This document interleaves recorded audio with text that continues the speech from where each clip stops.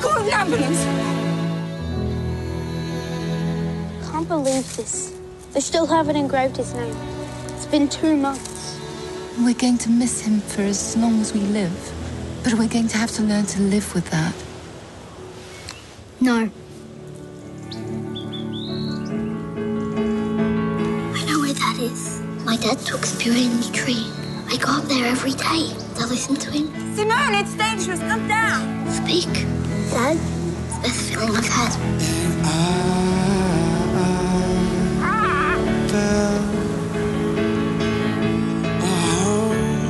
It wasn't just your dad.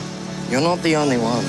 You're lucky you got your kids. I can't remember what life was before them, and I can't imagine life without them. Looks like you got tree roots blocking the drains. It's had the most awful roots. It's not a tree, it's an octopus. Well, no one is going to make me chop this tree down. George! Enough now!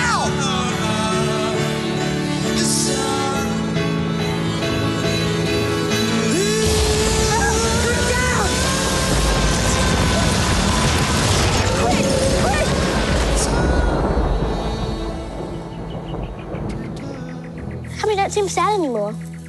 Well, you have a choice to be happy or sad. And I chose to be happy. And I am happy.